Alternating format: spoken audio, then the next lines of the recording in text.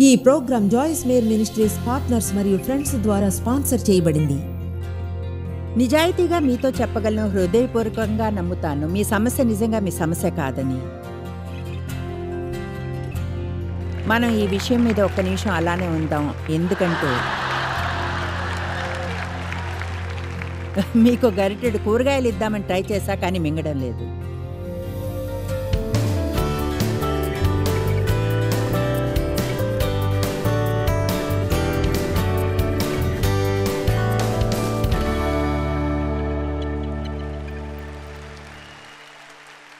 నేను ఈరోజు వైఖరులను గురించి బోధిస్తాను. కొంతమంది వైఖరిని సరిచేసుకోవాలి ఏమో అనుకున్నాను.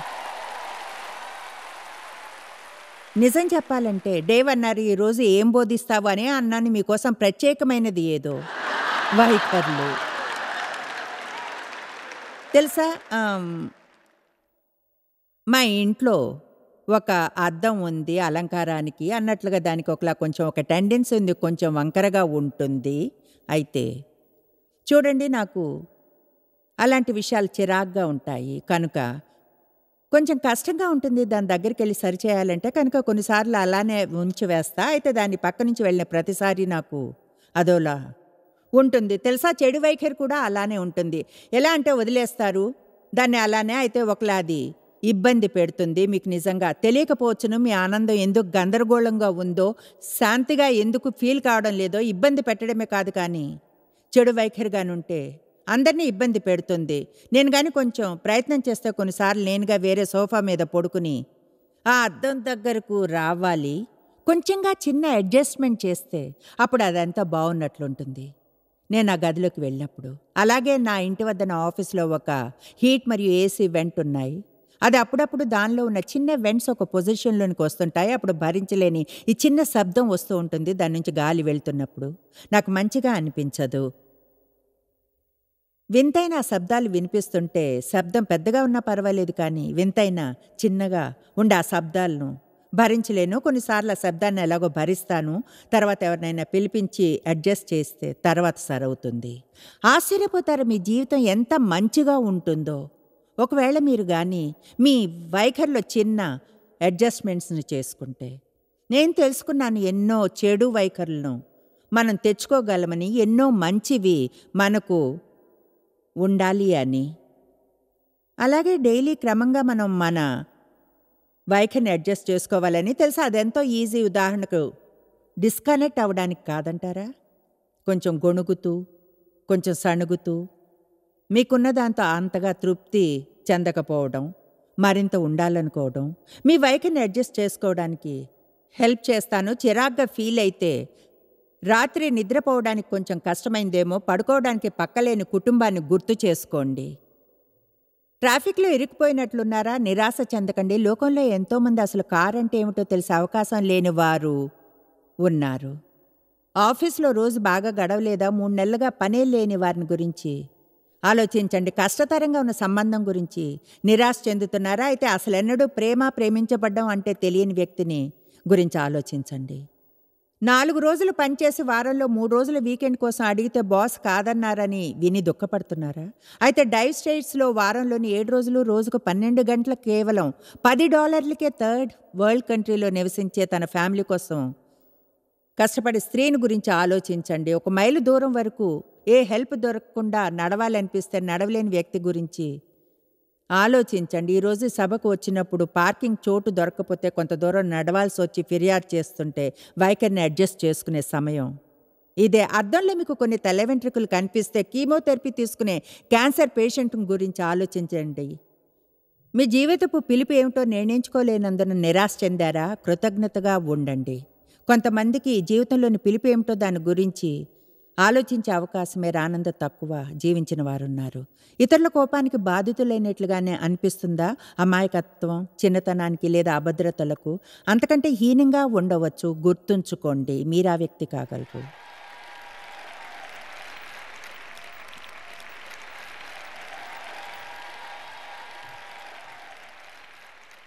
అన్ని రకాల వైఖరులు ఉంటాయి. పాజిటివ్ వైఖరులు నెగిటివ్వి. తృప్తి పొందినవి అసంతృప్తివి వినయం కలివి గర్వం అహంకారం బాధ్యత కలివి. బాధ్యత లేనివి కృతజ్ఞత కలవి దయగలివి క్షమించలేనివి స్వయంజాలి కలవి. ఆ లిస్ట్ అలా అలా వెళ్తూనే ఉంటుంది అలా అలా. అయితే మీరు కానీ యేసు తన వైఖరిని ఉంచుకున్నట్లు ఉంచుకోగలిగితే ఆయనే మనకు అన్నిటిలోనూ మాదిరిగా ఉండాలి వైఖరితో సహా. ఫిలిపి రెండు చెప్తుంది క్రీస్తు చేసుకున్న అదే వినియం కల వైఖరి మీలోనూ ఉండాలని. విధేయతలు ఆయన మీకు మాదిరిగా ఉండాలి. అలాగే వేరే ప్రతి వైఖరిలోనూ. ఈరోజు చెప్తున్నాను మీరు కానీ క్రమంగా రోజు మీ వైఖరిని అడ్జస్ట్ చేసుకుంటే మీ జీవితంలో ఏం జరుగుతున్నా సరే మీ జీవితాన్ని ఆనందించగలరు. ఒక ప్రశ్న అడుగుతాను. మీ సమస్య నిజంగా మీ సమస్యనా? లేక మీ సమస్య పట్ల ఉన్న మీ వైఖరి మీ సమస్యనా?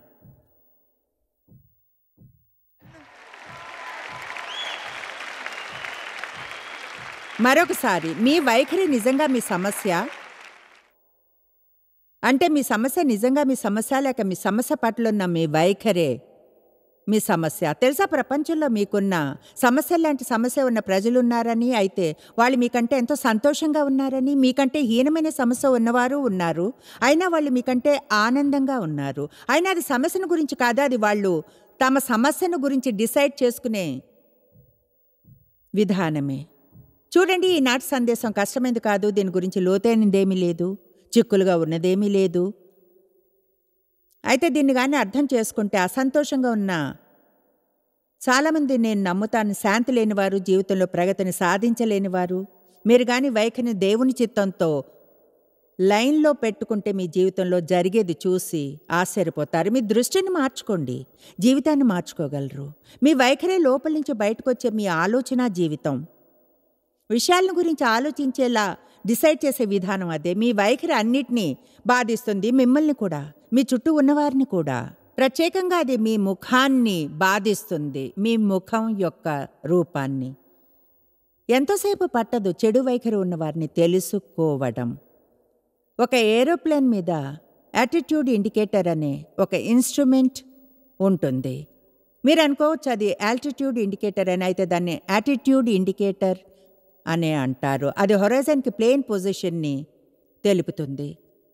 ప్లేన్ పైకి వెళ్ళేప్పుడు దానికి నోజ్ హై యాటిట్యూడ్ ఉందంటారు. ఎందుకంటే ప్లేన్ యొక్క నోజ్ హొరైజన్ పైకి పాయింట్ అయి ఉంటుంది. ప్లేన్ డైవ్ చేస్తున్నప్పుడు దానికి నోజ్ డౌన్ యాటిట్యూడ్ ఉందంటారు. ఎందుకంటే ప్లేన్ యొక్క నోజ్ హొరైజన్ క్రింద ఉంటుంది. ఇప్పుడు అనుకుందాం హొరైజన్ యావరేజ్ని తెలిపితే మనకు కానీ ఒకవేళ నోజ్ హై యాటిట్యూడ్ ఉంటే మన జీవితం యావరేజ్ కంటే పైన ఉంటుంది మనకు కానీ నోజ్ డౌన్ యాటిట్యూడ్ ఉంటే మన జీవితం బిలో యావరేజ్గా ఉంటుంది. మీకు ఎలాంటి జీవితాన్ని కోరుకుంటారు? చూడు జాయిస్ దేవుడు నన్ను బ్లెస్ చేసి నాకు మంచి జీవితాన్ని ఇవ్వాలి. అయితే రోజు మనసుని నూతనీకరించుకోవడానికి సిద్ధమేనా? అలాగే వైఖరిని? ప్రతి ఉదయం కొంచెం సమయం తీసుకుని ఆఫీస్కి వెళ్ళే మార్గంలో దేవునితో వెచ్చించి ఆలోచించండి. నా జీవితంలో ఏ చోటైనా ఉందా దేవా? వైఖరిని సరి చేసుకోవాల్సింది? ప్రజలు అడిగితే ఎక్కడున్నారు ఈరోజు అని ఇలా అనవచ్చు. వైఖరిని అడ్జస్ట్ చేసుకోవడంలో బిజీగా ఉన్నాను. బాయ్ నాకు ఎప్పుడైనా అవసరం వచ్చిందా? కొంతమంది ఎక్కువగా ఉదయాన్న నా టీవీ ప్రోగ్రామ్ని ఆన్ చేసినప్పుడు అయిపోయాక వైఖరిని సరి చేసుకున్నారు.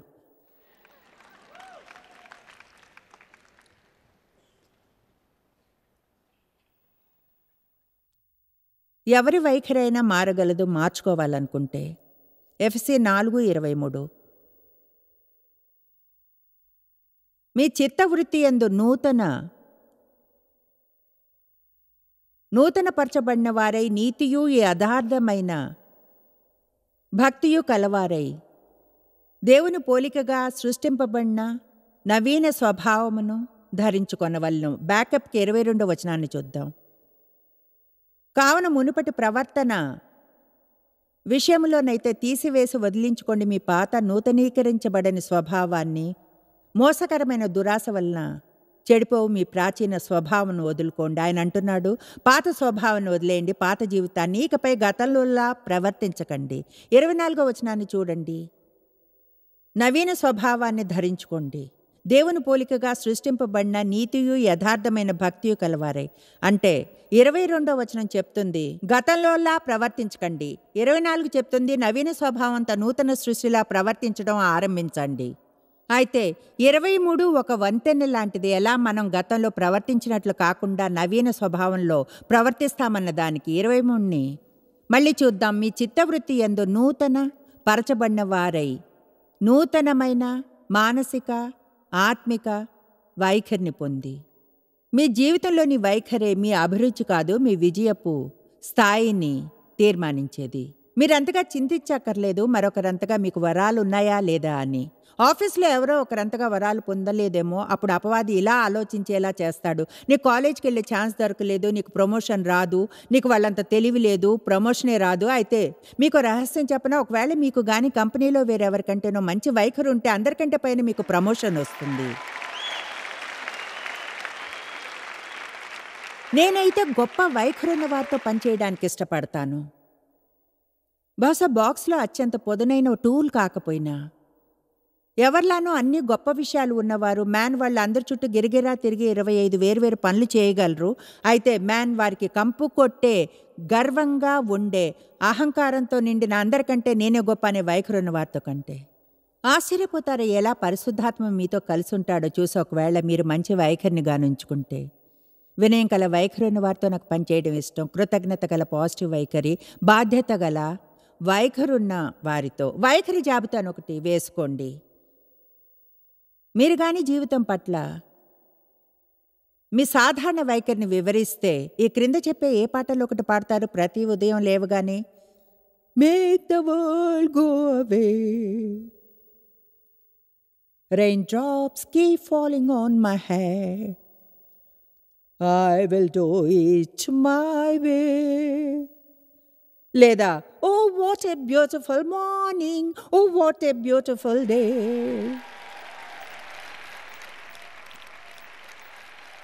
ఇప్పుడు నేను మీకు చెప్పాలి నా ఆరంభపు ఏళ్ళలో దేవుతో పెళ్ళికి ముందు నాపై చాలా కార్యం చేసే ఛాన్స్ దేవునికి వచ్చింది. నేను సీరియస్గా సోంబరుగా చెడు వైఖరితో ఉండేదాన్ని. డేవ్ మరొక వైపున సంతోషంగా పాజిటివ్గా ఉంటారు. ఆయన తెలుసా? ఆయన లేవగానే పాడడం మొదలు పెడతారు. నేను ఆయన్ని నోరు మూసుకోమనేదాన్ని. ప్రొద్దున్నే లేవగానే మీరు పాటలు పాడాలనేమైనా ఉందా? నేను నా సమస్యలను గురించి ఆలోచించాలి. అందరూ నాకేం చేశారో తిరిగి. వాళ్ళకు నేను ఎలా ఏం చెయ్యాలో? వినడానికి ఫన్నీగా ఉంటుంది. అయితే విచారకరం ఏమిటంటే అది నిజంగా నిజం. నాకు వినాలనిపించేది కాదు.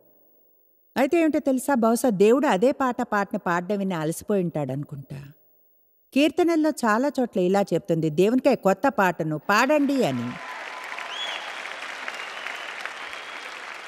కనుక మీకోసం ఒక కొత్త పాటను వ్రాశాను. దీన్ని నేర్చుకుని పాడగలరేమో చూడండి. No matter what come my way I'm going to have a good day everything will be okay I may get a raise in pay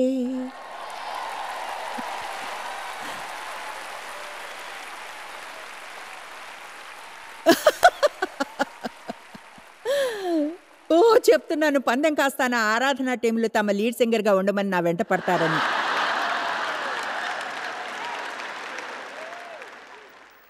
చూడండి ప్రపంచంలోని ప్రతి ఒక్కరూ సంతోషంగా ఉండాలంటారు. అంటే నిజంగా విషయం అంతవరకు వస్తుంటే సంతోషాన్ని కొనడానికి ట్రై చేస్తున్నా లేదా సంతోషంలోనికి ప్రమోట్ చేస్తున్నా? వివాహాన్ని సంతోషంగా మార్చుకోవడానికైనా? నిజంగా అందరం సంతోషంగా ఉండాలనుకుంటాం. అంటే మీరు అలా అనరా మీ జీవితంలో హద్దుగీత అదే ఉండాలని? అయితే మనం చేసే తప్పేమిటంటే అక్కడికి వెళ్ళడానికి ఎలా ఆలోచిస్తామన్నది.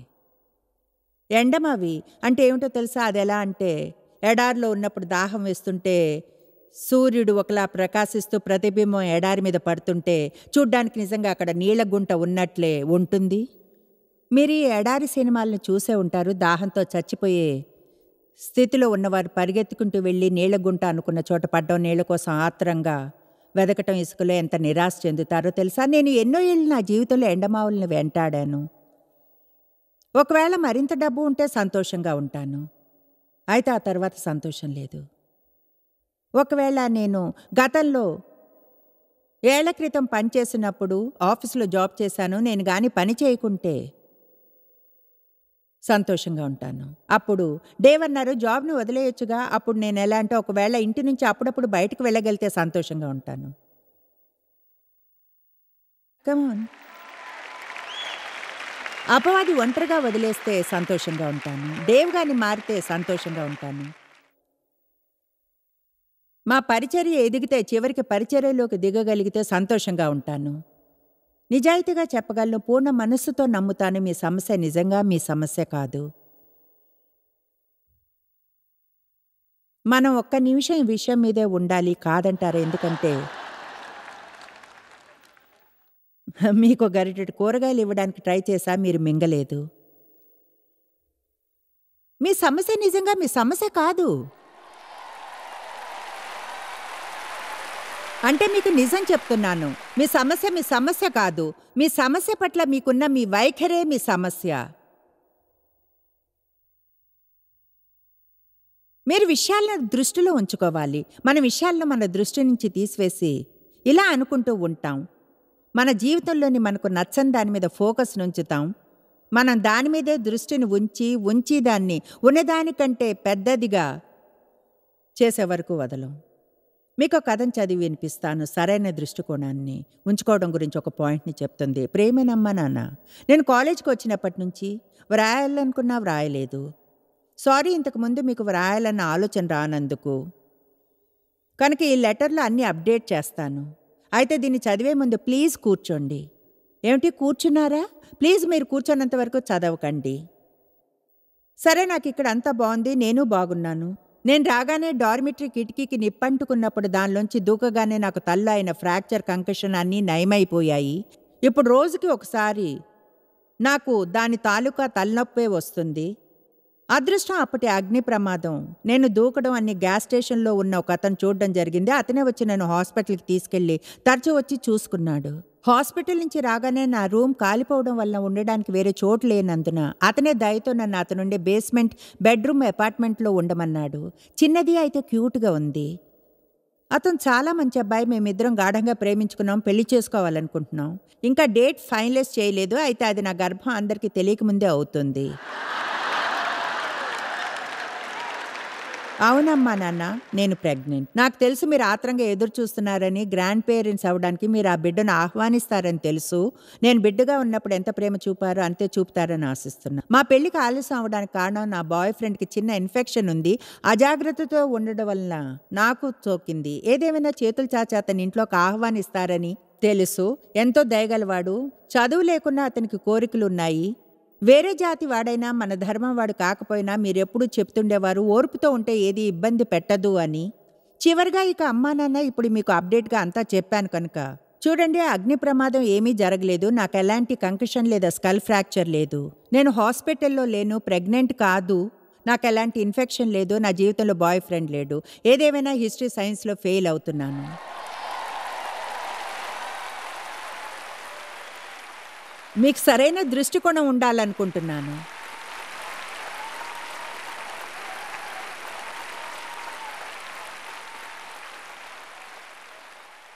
ఊహించగలరా పేరెంట్స్ ఎంత సంతోషపడ్డారు? ఓ థ్యాంక్ గాడ్ స్కూల్లో మాత్రమే వాళ్ళు ఫెయిల్ చేస్తున్నారు. ఓ దేవునికి స్థుతులు. ఒకవేళ ఆమె ఫోన్ చేసి ఇలా చెప్పుంటే హిస్టరీ సైన్స్లో ఫెయిల్ అయ్యానని వాళ్ళ కోపం వచ్చి అప్సెట్ అయి ఉండేవాళ్ళు అరిచి గీ పెట్టేవారు కోపం వచ్చి ఏడ్చేవారు. బహుశా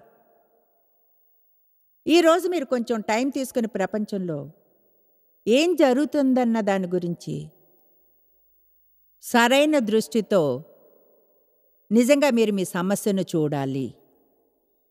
ప్రజలు ఎలాంటి వాటితో డీల్ చేస్తున్నారో దాన్ని మళ్ళీ చెప్తాను. మీ సమస్య నిజంగా మీ సమస్య కాదు. మీ సమస్య పట్ల మీకున్న వైఖరే నిజంగా మీ సమస్య. చూడండి వైఖరి గురించి గొప్ప విషయం. అది మీ వైఖరి. దాన్ని మార్చుకోగలరు. అది మారడానికి వెయిట్ చేయక్కర్లేదు. మీరు మీ వైఖరిని మార్చుకోగలరు. విక్టర్ ఫ్రాంకల్ ఒక కాన్సన్ట్రేషన్ క్యాంప్లో జర్మనీలో అన్నారు మానవ స్వాతంత్ర్యంలోని చివరిది ఎవరూ? తీసుకోలేనిది ఏమిటంటే ఏ స్థితిలోనైనా ఒకరి వైఖరిని ఎంచుకోవడమే. కాన్సంట్రేషన్ క్యాంపులో అయినా సరే నిర్ణయించుకున్నాడు. మీరు నా దగ్గర నుంచి తీసుకోలేనిదేదో నా వద్ద ఉంది. నా ఆహారాన్ని తీసుకోగలరు నా బట్టలను నా పక్కను నన్ను ఒంటరిగా చేయగలరు నన్ను శ్రమపడి పనిచేసేలా ఫోర్స్ చేయగలరు అయితే నా నుంచి తీసుకోలేనిది ఒకటి ఉంది. నాకు మంచి వైఖరుంది. దాన్ని మీరు తీసుకోలేరు.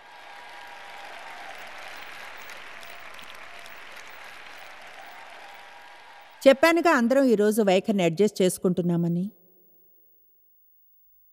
అందరూ సంతోషంగా ఉండాలనుకుంటారు. చాలా ఆసక్తికరంగా బైబిల్ మాటిమాటికి చెప్తుంది. అది మీకంటే నేను ఎక్కువేమీ ఇష్టపడను. అయితే మాటిమాటికి చెప్తుంది. శోధనలు కష్టాలు వచ్చినప్పుడు సంతోషంగా ఉండమని.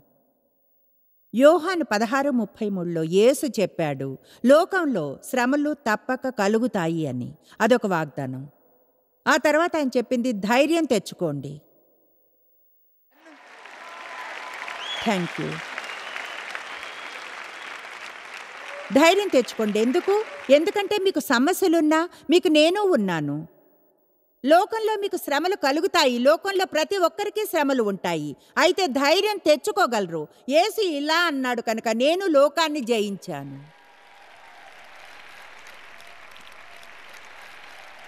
మన సమస్యల చేత అంతగా ఇబ్బంది పడ్డం మానివేసి మన జీవితాల్లో దేవుడు ఉన్నాడని ఆనందించాలి. మొన్న ఒక రోజున ఎవరో అన్నారు. తెలుసా? చెప్పాలంటే అదొక పెద్ద సమస్యే. మనం బహుశా దేవుణ్ణి నమ్మాలనుకుంటాను. అది ఒకలా నాకు తప్పుగా అనిపించింది. అనుకున్నాను ఏమన్నా తెలుసా? అది చెప్పి చెప్పి విసిగిపోయాను. ప్రజలు అలా చెప్పడం విని అలసిపోయాను. మనం కేవలం దేవుణ్ణి నమ్మడమే కాదు నమ్మడం తెలుసుకోవాలి. దేవుణ్ణి నమ్మడం అనేది గౌరవప్రదమైంది. మనల్ని ప్రేమిస్తున్నాడని విశ్వాసపరుడని తెలిసిన దేవుణ్ణి పొందడం ఎంత గౌరవం? ఎవరికైతే సర్వశక్తులు సమస్త జ్ఞానము తెలివి ఉన్నాయో ఎల్లప్పుడూ అన్ని చోట్ల ఉండేవాడు ఒక క్షణం కూడా మన పైనుంచి దృష్టిని మరల్చినవాడు. మనకు సమస్యలుంటాయి. అయితే దేవుడున్నాడు. విశ్వాసం లేనివారు అవిశ్వాసులు అందరికీ సమస్యలుంటాయి. మరిన్ని మరిన్ని. సమస్యలు ఎన్నో సమస్యలు. నిరీక్షణ నిశ్చయత అనేది ఉండదు. వాళ్ళ జీవితమంతా ఎండమావులను వెంటాడుతూ గడుపుతారు. చివరికి ఎంతో నిరాశ చెందుతారు తెలుసుకుని. చూడండి నిజంగా అది నేను అనుకున్నది కానే కాదు. యాకోబు ఒకటి దీన్ని చూడకుండా ఉండలేకున్నాను. మీరు ఒప్పుకోవాలి ఒకవేళ మీకు సమస్య ఉన్నా సంతోషంగా ఉండగలరని ఎందుకంటే ఒప్పుకోకపోతే ఎన్నడూ ఉండలేరు. కానీ జాయిస్ ఫీల్ అవుతున్నానే. ఏ ఇక్కడ అదిగో అదే సమస్య. కానీ ఫీల్ అవుతున్నా. నేను అనుకుంటాను. మీరు ఎలా ఫీల్ అవుతున్నారో ఆలోచిస్తారా అన్నదాని గురించి చెప్పను. ఏం తెలుసో దాని గురించి చెప్తా. మీకు ఎవరు తెలుసు? వాక్యం ఏం చెప్తుంది? కొంచెం లోతుగా జీవిద్దామా? దేవునితో లోతైన సంబంధం ఉండాలి. మనం కోరుకున్న దానికంటే ముందుకెళ్ళాలి ఆలోచించి ఫీల్ అయ్యే దానికంటే మన మనసు లోతుల్లో తెలిసిన దానికంటే దేవుడు విశ్వాసపరుడని తెలుసు. ఎన్నోసార్లు విశ్వాసంగా ఉండడాన్ని చూశాను. మళ్ళీ మళ్ళీ మళ్ళీ మళ్ళీ.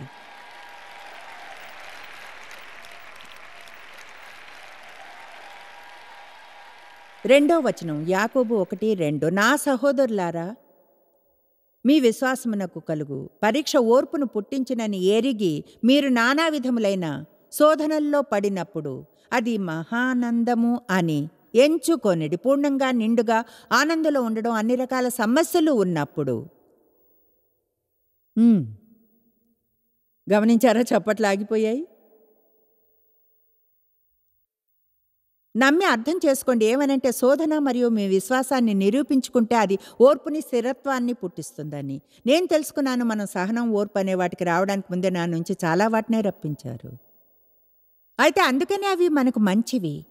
కష్ట సమయాల్లోనే మనకు అనుభవం వస్తుంది. అప్పుడే భవిష్యత్తులో దేవుడు మనల్ని యూజ్ చేసుకోవాలనుకునే విషయాలకు సిద్ధపరుస్తాడు. కష్ట సమయం నుంచి వచ్చేప్పుడు ఇలా అనవచ్చు నాకు ఇది నచ్చలేదు బాగా అనిపించడం లేదు అయితే ఏదేమైనా ఆనందిస్తాను ఎందుకంటే నాకు తెలుసు దీని నుంచి ఏదైనా పొందుతాను అని. దీని నుంచి ఏదో పొందుతాను. మరింత పరిణతి చెందుతాను. ఇది అయిపోగానే మొదట్లో కంటే ఎక్కువగా నిన్ను తెలుసుకుంటాను. మనం గుర్తుంచుకుందాం ఏమనంటే మన సమస్య పట్ల మన వైఖరే మన అసలైన సమస్య అని. క్రీస్తు యేసు అనుచరులుగా మన లోపల సమస్యను సాల్వ్ చేసే ఆయన నివసిస్తున్నాడు అని ఆనందించవచ్చును. మీరు ఎన్నడూ తెలుసుకోలేనంతగా జాయిస్ మేర్ మినిస్ట్రీస్లో మీరు మాకెంతో ముఖ్యం. మిమ్మల్ని అభినందిస్తున్నాం. మా ప్రపంచ వ్యాప్తపు మినిస్ట్రీ సాధ్యం అయ్యేలా చేసే మా ఫ్రెండ్స్ మరియు పార్ట్నర్స్కి థ్యాంక్స్ అందరం కలిసి ఆకలిగొన్న వారికి భోజనం పెడుతున్నాం బీదలకు బట్టలు ఇస్తున్నాం సువార్తను దేశాలకు చాటుతున్నాం. మమ్మల్ని కాంటాక్ట్ చేయండి లేదా జాయిస్ మేర్ డాట్ ఓఆర్జీని ఈ రోజే విజిట్ చేయండి. మీ ప్రార్థన విన్నపాలను కొరకు అలాగే మరిన్ని సాధనాలను గురించి తెలుసుకోండి. జాయిస్ మేర్ షెడ్యూల్ని చూసి భాగస్వామిలో భాగమవ్వండి. క్రీస్తు ప్రేమను ప్రపంచమంతటా పంచుకోవడానికి.